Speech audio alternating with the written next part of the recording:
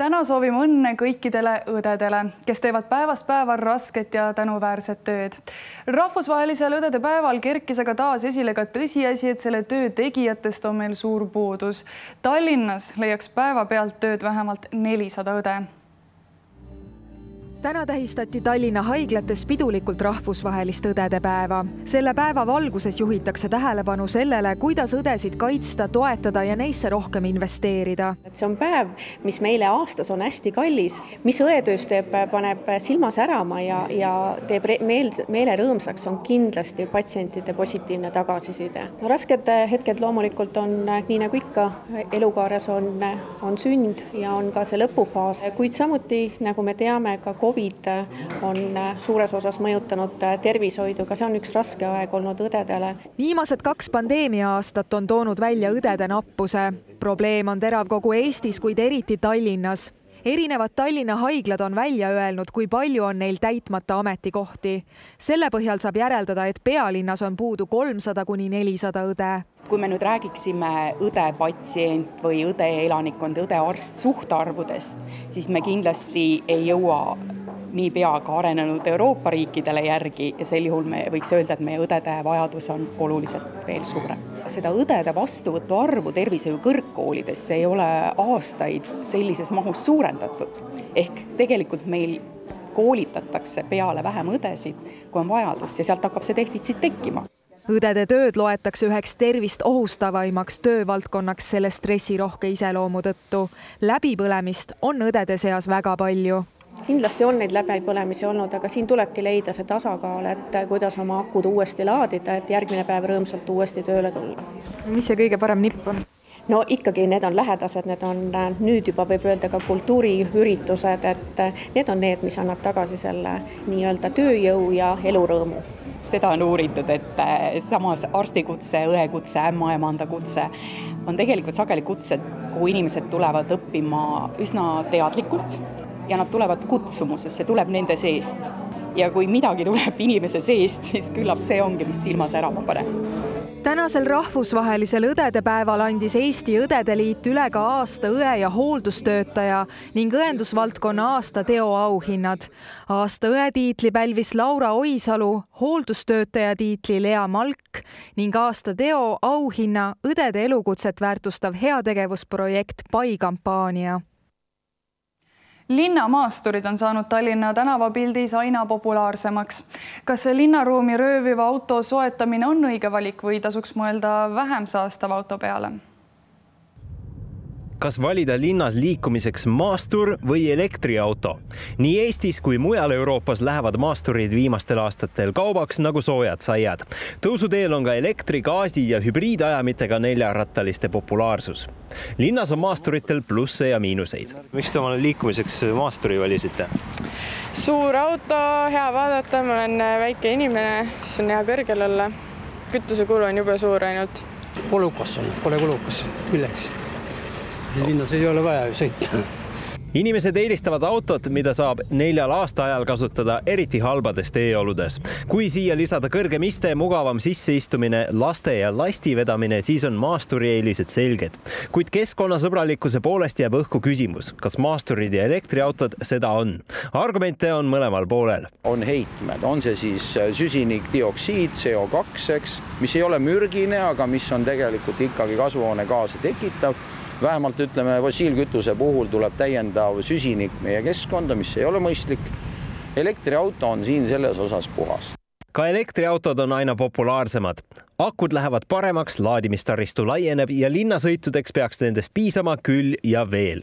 tekib aga küsimus, mida teha näiteks kasutamiskõlbmatute akudega, kui keskkonnasõbralik on ühe elektriauto tootmine ning kui puhas on särts, mida autodes kasutatakse praegu ei ole meil äh, suurem osa taastuvatest energiaallikatest kahjuks Eestis. Äh, me oleme liiga vähe selleks teinud, aga perspektiiv on täielik üleminek teatavasti Euroopa Liidus taastuvatele energiaallikatele ja sellisel juhul on elektriauto on, on väljapääs, kui, kui me edasi kasutame fossiilkütuseid, siis, siis ei ole mingit võimalust süsinikuheitest vabaneda. maasturid on pikkuselt sarnases mõõdus tavaliste sedaanidega, nii et otseselt nad ruumi ära ei võta hetkel on tegemist patiseisuga, sest kummagi kasuks ega kahjuks ei kõnele piisavalt argumente, et ühelt teisele üle minna. seega jäägu hetkel igaühe enda otsustada, missuguse autoga ta ringi liigub täna sai Eesti-aegne ja Punaarmee poolt hävitatud Kopli kalmistupargi Püha-Jüri kabel peale vast valminud kupli. eestlaste jaoks ajalooline paik saab veel enne suve taastatud Tallinn taastab Koplis endisel loodearmee kalmistul asuva Püha-Jüri kabeli ja memoriaalala ja siis otsustati noh, nagu selle, et oleks siis kõikidele nendele üks kabel kus saab äh, palvetada ja noh, mõelda nii nendele, kes siia on maetud, kui ka teistele, noh, kes siis kas Narvas või, või siis üldse siin kuskil siin surma said. täna pandi kabelile ühest tükist tehtud kuppel peale. ühes tükis valatud kupli kõrgus on kaks koma neli ja läbimõõt üks koma viiskümmend viis meetrit ning see kaalub ligi kolm koma kaks tonni. ehkki tarnetega on raskusi olnud, on ehitus graafikust ees ootame graniitplaate, sest äh, nad viibivad päris korralikult tänavu viimastele sündmustele. Püha-Jüri kabel oli pühendatud loodearmee sõduritele. Nõukogude võim hävitas kalmistu tuhande üheksasaja neljakümne kuuendal aastal. tugevalt sai kahjustada ka kabelis olnud Püha-Jüri ikoon, mis praegu asub Nikolai kirikus ehitajad on toime tulnud väga hästi ja ka nemad täna tunnistasid, et selle kupli tellimine oli suur väljakutse, sest äh, kui nad äh, püüdsid leida tootjat, kes teeks kolme koma kahe tonnise kupli ühes tükis, siis kuuele pakkumisele tuli ainult üks vastus. uus kabel rajatakse võimalikult sarnaselt algsele hoonele Tallinna Rotary klubi tunnustas täna parimaid noori politseinikke. politseinike märkamine ja tunnustamine on auväärt traditsioon, mis kindlasti annab noortele tegijatele tuult tiibadesse. oma osa sai ka politseikoer Riko. Tallinna Rotary klubi tunnustas täna parimaid noori politseinikke ja koerajuhti. see on kakskümmend kaks aastat vana traditsioon, mille vältel on autasusid jagatud üle saja tunnustust jagati viiele silmapaistvale politseinikule, kellest kaks olid Tallinnast. Maria Dolgova tuli tööle ajal, mil koroonapiirangute tõttu toimus väljaõpe suuresti distantsilt. Pühendunud õppijana omandas ta väga kiiresti vajalikud oskused ning möödunud aasta lõpust võttis Maria enda kanda ka tähtajalise elamisloa menetlused, mis on väga vastutusrikkad otsused, mis me vastu võtame, on äh, tihti väga keerulised, et äh, ei ole just ütleme, kas tööandjatele või välismaalastele meelepärased kuid äh, me peame olema ikkagi lähtuma seadusest, lähtuma meie praktikast, äh, vaatama, mis on Eestile parim ja nendest rasketest otsusest kujutame praktikat ja niimoodi ongi. Kerli Valgre ei löö risti ette, kui on vaja lahendada keerulisemaid ülesandeid või mõelda kastist välja.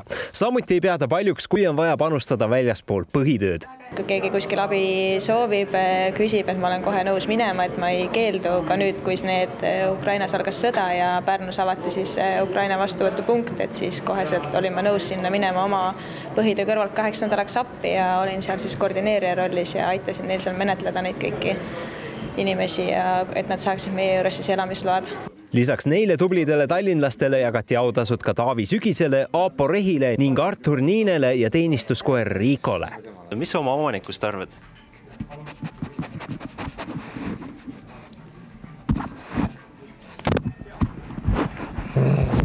ossa vana, et äh, omanikule tahaks ta käppa anda nagu meie mikrofonilegi. Noorte politseinike tunnustamine on iga-aastane traditsioon, mis sai alguse kahe tuhande esimesel aastal, kui Tallinna Rotary klubi kinkis politseile teenistuskoera Kutsika Tallinna Kammerkoor tähistab kuuekümnendat juubeliaastat tegemist on esimese kammerkooriga nii Eestis kui ka tollases Nõukogude Liidus, mis algselt loodi Eesti heliloojate uudisloomingu tutvustamiseks. Tallinna Kammerkoor tegutseb aastast tuhat üheksasada kuuskümmend kaks, kui helilooja ja muusik Uno Naissoo algatusel pandi kokku eksperimentaalkoor, mis algselt koosnes ainult elukutselistest muusikutest. Kuna mitmed neist olid džässlauljad, lauldi palju estraadimuusikat, järjest enam võeti aga ette ka tõsisemat heliloomingut selle kammerkoori ajalugu on ikkagi väga auväärne ja seal on laulnud Eesti parimad dirigendid, lauljad omal ajal, et täna laulab meie kooris ikkagi suur hulk tublisid harrastajaid. et aegade jooksul on see kammerkoori lauljaskond kindlasti palju muutunud, aga me ikkagi oma repertuaari ja muusikaliste püüdlustega püüame olla ikka kõrgel tasemel tänastel harrastajatel kooriliikmetel on siiski kõigil muusikaline taust, omatakse ilusat lauluhäält ja tuntakse nooti, ega muidu koori laulma saagi. Kristi on esimest sopranit laulnud järjepidevalt kaksteist aastat. kõige staažikam kooriliige pidavat aga laulma kooris aastast seitsekümmend üheksa. mis teid seal kinni hoiab? koorilaul ja harjumus seda teha, et kui sa oled midagi teinud alates sellest ajast, kui sa kunagi kooli läksid ja see on sul sinu olemise viis põhimõtteliselt, siis see on midagi üliloomulikku minu jaoks. ja see seltskond, kes seal on, et nemad noh, need on ikkagi sinu sõbrad ja sinu inimesed, muidu ei saa laulda. Kahe aasta tagusest ajast on aga kooril ette näidata viimase aja suurimaid auhindasid, see on Grand Prix Eesti Kammerkooride festivalilt. ees ootavad aga uued väljakutsed.